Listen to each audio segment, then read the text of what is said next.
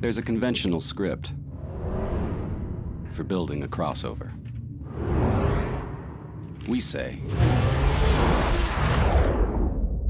conquer convention.